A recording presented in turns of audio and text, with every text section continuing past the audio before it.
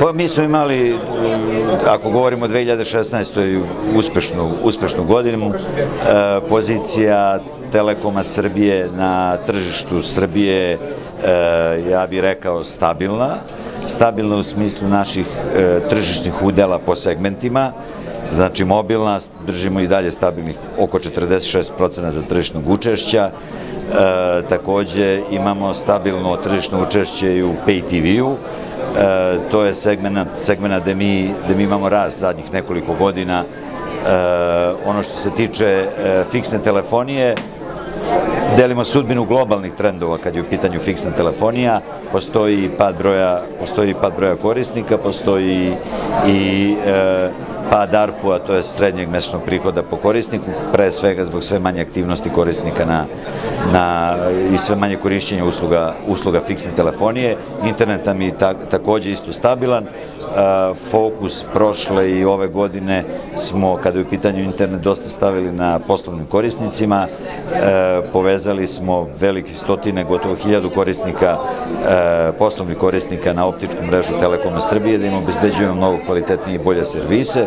Taj trend smo nastavili ove godine, tako da što se tiče, što se tiče Telekoma Srbije, mi smo na jednom prilično dobrom i stabilnom talasu i očekujemo da ćemo tako završiti i ovu godinu. Još je rano za, za predviđena na bazi ovih osmomesečnih rezultata, mi možemo da budemo zadovoljni. Ono što jeste def, definitivno e, globalno problem telekomunikacijonog tržišta, to je što se danas na ovom tržištu postaj, pojavljuju i već su debelo prisutni i e, brojni tržišni igrači koji deluju, mi kažemo, iz klauda, iz oblaka, kao što su WhatsApp, Viber, Skype, koji de facto, de facto uzimaju deo tržišnog, tržišnog kolača i to je pritisak koji ne trpi samo Telekom Srbija, to je pritisak koji trpi i ostali operatori, pre svega mobilni operatori ovde e, na tržištu Srbije, ali to je pritisak koji trpe svi telekom, sve telekomunikacijone kompanije u svetu.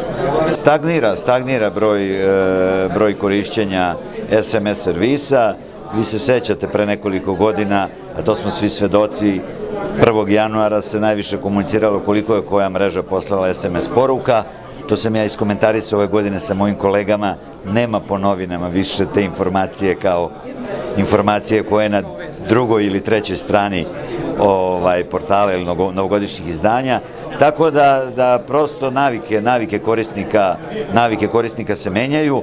Ono što, što danas korisnici traže, to je pre svega siguran, siguran internet, ako govorimo o mobilnom internetu i na tom internetu oni sad već rade, zadovoljavaju svoje potrebe koje, koje smatraju da su im neophodne za normalno funkcionisanje. Od slanja poruka, razmene fotografija, četovanja, postavljanja fotografija na Instagramu i već sve šta posebno, posebno ovi milenijalsi, kako ih zovemo, ili neka mlađa populacija radi. Znači, smartfon, mobilni internet i to je nešto što, što danas je, je fokus, to je fokus i naš kada su u pitanju naše investicije, jer taj, e, taj mobilni internet se s, godina, s godine na godinu gotovo duplava, treba obezbediti kapacitete i resurse za tako nešto.